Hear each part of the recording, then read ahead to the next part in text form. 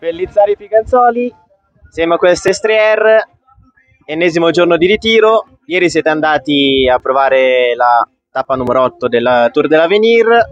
Come l'avete trovata?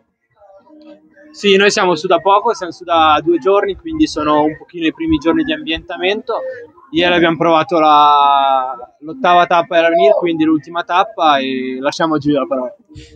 No, sicuramente è una tappa dura e soprattutto anche perché sarà l'ultimo giorno di gare. Lui ha più esperienza perché l'anno scorso diciamo che la tappa era simile dell'ultima tappa dell'Avenir dello scorso anno, quindi... Eh, e quale eh, sarà la salita di giornata? L'Isoar, l'Isoar, ma poi ci saranno altre due salite prima, prima dell'arrivo che sono molto impegnative. Tu hai detto Davide che l'hai fatta l'anno scorso, com'è stato l'Isoar in gara? Sì, l'anno scorso era molto simile al percorso, partivamo un pochino prima, quindi c'erano più chilometri prima della salita, però alla fine è una salita molto lunga e molto dura perché eh, l'altezza è molto alta, arriva fino ai 2700 metri della cima e poi c'è una lunga discesa, quindi bisogna stare attenti un pochino a non andare in crisi lì per, per cercare di risparmiare le energie per il finale.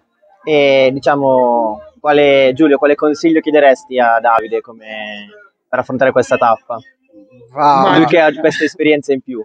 Sicuramente l'alimentazione, perché in una tappa così, se non ti alimenti bene, da un, da un momento all'altro potresti saltare. Ecco.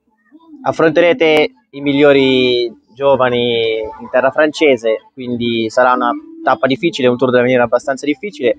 Per te Giulio è il primo, tu sei il secondo, Davide se non sbaglio. Insomma, anche tu che, che esperienze hai portato via l'anno scorso e cosa, cosa ne pensi della gara?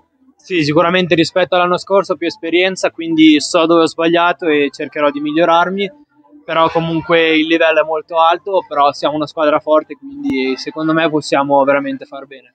Intanto grazie. Grazie. grazie.